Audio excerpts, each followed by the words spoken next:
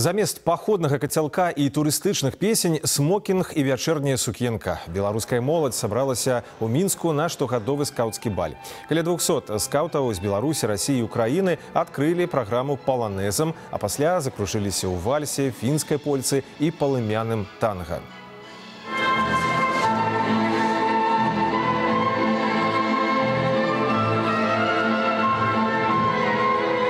Скаут – это э, тот человек, который должен уметь все. От того, как в лесу разжечь костер и даже научиться хорошо танцевать.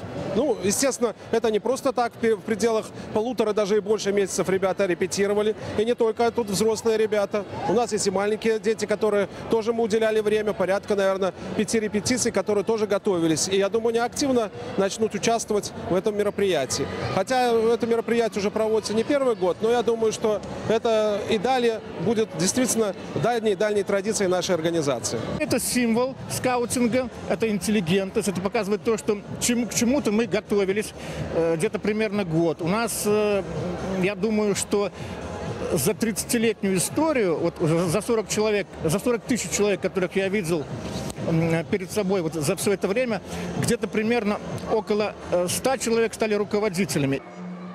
Нагадаю, у скаўцкай арганізацыі мінскай вобласці налічваецца амаль 700 чалавек.